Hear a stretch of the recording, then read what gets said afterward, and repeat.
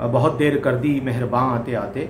लेकिन बहर सूरत इनके तमाम इकदाम को अब रिवर्स होना चाहिए। हम इन पाकिस्तान तहरीक इंसाफ के बिहाफ पे हम पिशावर हाई कोर्ट में भी जा रहे हैं। आ, मैं समझता हूँ कि देर आयद दुरुस्त आयद और आज खैबर पख्तनख्वा में एक काली अंधेरी रात जो है वो ख़त्म हुई और सूरज तलू हुआ।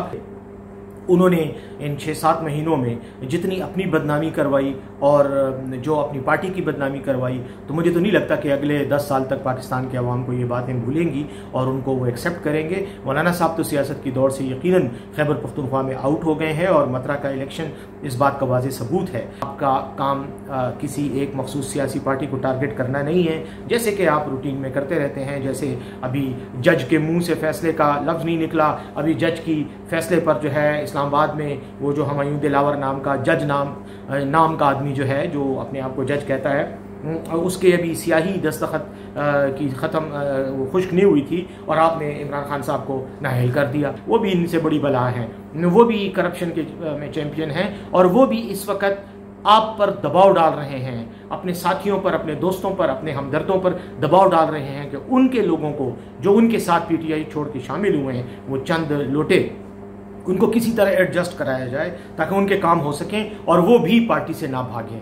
तो खैर, भागने का उनका फ़ायदा भी कोई नहीं है क्योंकि किसी पार्टी ने उनको एक्सेप्ट भी नहीं करना। लेकिन बहरहाल खटक साहब को कहीं फैसिलिटेशन ना हो जाए तो इलेक्शन कमीशन साहब मेहरबानी करें, जागते रहें। हम आपको इन बार बार तंग करते रहेंगे, जगाते रहेंगे। और हाँ मरकज़ में भी एक चोर हुकूमत तो चली गई, एक करप्ट और नाइल हुकूमत तो चली गई।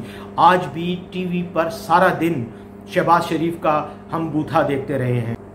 बिसमीम आज खैबर पुख्तनख्वा में निगरान काबीना के वज़रा को फारग कर दिया गया उनसे इस्तीफ़ा ले लिया गया। और बताया गया कि इलेक्शन कमीशन ऑफ़ पाकिस्तान के हुक्म के मुताबिक उनसे इस्तीफ़ा इसलिए लिया गया है कि ये लोग आ, सियासी पार्टियों के साथ मुंसलिक थे और उनकी वफादारियाँ सियासी पार्टियों के साथ थीं।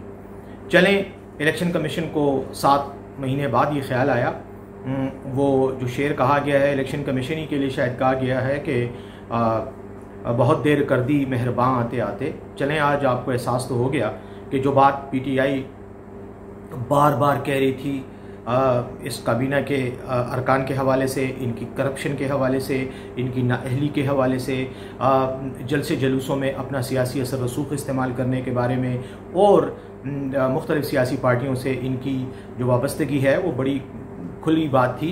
हर बच्चे बच्चे को खैबर पख्तूनख्वा में पता था सिर्फ़ शायद इलेक्शन कमीशन को पता नहीं था। साथ ही साथ इन्होंने जो अंधेर नगरी मचाई हुई थी पोस्टिंग्स ट्रांसफ़र्स करप्शन के वाक़ात जो कि बच्चे बच्चे की ज़ुबान पर थे। चलें इलेक्शन कमीशन को आज ख्याल आया। आ, मैं समझता हूँ कि देर आए दुरुस्त आए और आज खैबर पख्तनख्वा में एक काली अंधेरी रात जो है वो ख़त्म हुई और सूरज तलू हुआ। जहाँ तक अब इस मामले का ताल्लुक है तो अगर इलेक्शन कमीशन ने ये यकीन कर लिया है और उनको इस बात का इदराक हो गया है कि ये लोग पॉलिटिकल थे और इन्होंने सियासी अकरबा परवरी की, सियासी पार्टियों को सपोर्ट किया और जो इकदाम इन्होंने किए, वो सियासी पार्टियों के एजेंडे की तकमील में किए तो फिर इस ये बात बिल्कुल वाजे हो जाती है कि ये लोग जो भी इन्होंने फैसले किए, वो सब गैर कानूनी थे आइन के दायरे कार से बाहर थे। वैसे भी ये एक गैर आइनी हुकूमत थी, क्योंकि नवे दिन में इंतबात करवाने के लिए इनको ज़िम्मेदारी दी गई थी और जब वो वक्त ख़त्म हो गया और इन्होंने इंतबात नहीं करवाए तो उसके बाद तो ये हुकूमत वैसे ही गैर आइनी और गैर कानूनी हैसियत इख्तियार कर गई थी। इनके तमाम फैसले वैसे भी कानून की नज़र में गैर आइनी और गैर कानूनी हैं। लेकिन बहुत सूरत चूँकि अब इलेक्शन कमीशन को आज ख्याल आया है और उन्होंने ये फैसला कर लिया है तो अब इलेक्शन कमीशन को चाहिए कि इन्होंने जो तबादले किए हैं, जो इन्होंने पोस्टिंग्स और ट्रांसफर्स किए हैं, और इन्होंने जो पॉलिसी फैसले किए हैं। यानी वो फैसले कि जिनके करने का इनको इख्तियार नहीं है आइन के तहत, वो फैसले अब रिवर्स होने चाहिए, उनको वापस होना चाहिए। क्योंकि इन्होंने अकराबा परवरी की इंतहा भी की, और इनका जो असल मैंडेट था, जिस मकसद के लिए लाए गए थे, वो तहरीक इंसाफ को ख़त्म करना तहरीक इंसाफ को कुचलना था। और सूबे में मौलाना साहब की हुकूमत के लिए रास्ता हमवार करना था।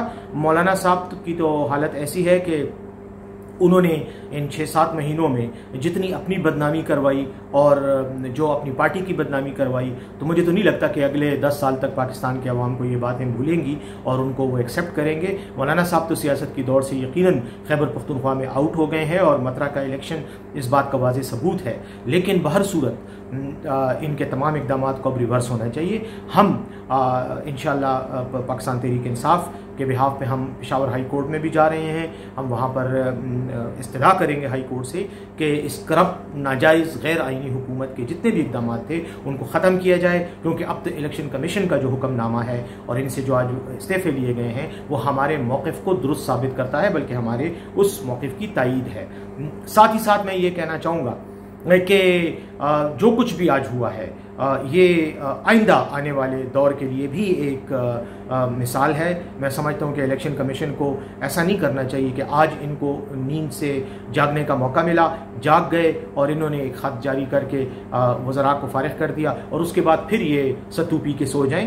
इलेक्शन कमीशन साहब, इलेक्शन आपकी ज़िम्मेदारी है कि आप इलेक्शन करवाएँ, आप आइन के मुताबिक निगरान हुकूमत को मैनेज करें और उन पर नज़र रखें। आपका काम आ, किसी एक मखसूस सियासी पार्टी को टारगेट करना नहीं है। जैसे कि आप रूटीन में करते रहते हैं जैसे अभी जज के मुँह से फैसले का लफ्ज़ नहीं निकला अभी जज की फैसले पर जो है इस्लामाबाद में वो जो हमायूं दिलावर नाम का जज नाम नाम का आदमी जो है जो अपने आप को जज कहता है उसके अभी सियाही दस्तखत की ख़त्म खुश्क नहीं हुई थी और आपने इमरान खान साहब को नाहल कर दिया।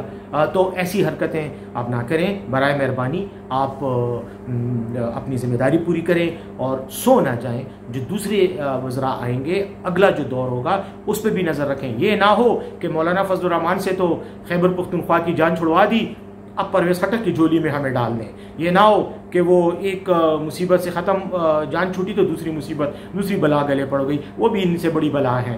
वो भी करप्शन के में चैम्पियन हैं और वो भी इस वक्त आप पर दबाव डाल रहे हैं। अपने साथियों पर, अपने दोस्तों पर, अपने हमदर्दों पर दबाव डाल रहे हैं कि उनके लोगों को, जो उनके साथ पीटीआई छोड़ के शामिल हुए हैं, वो चंद लोटे, उनको किसी तरह एडजस्ट कराया जाए ताकि उनके काम हो सकें और वो भी पार्टी से ना भागें।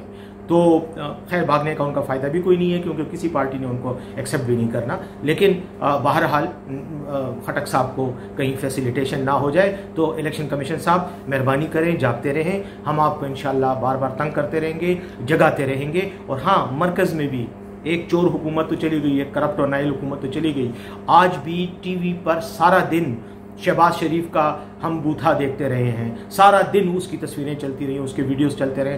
करोड़ों रुपए आज भी इस गरीब आवाम के, इस मकरूज आवाम के आज शहबाज शरीफ को प्रमोट करने वाले इश्तहार पर चल रहे हैं और ख़र्च हो रहे हैं। तो मेहरबानी करें, वहाँ भी नज़र रखें। ये ना हो कि कहीं एक चोर के जाने के बाद दूसरा चोर घुस आए तो मेहरबानी करें, जागते रहें और अपना आइनी काम करें, सियासत में ना उलझें। आपका जो, आपकी जो आइनी ज़िम्मेदारी है, वही करें।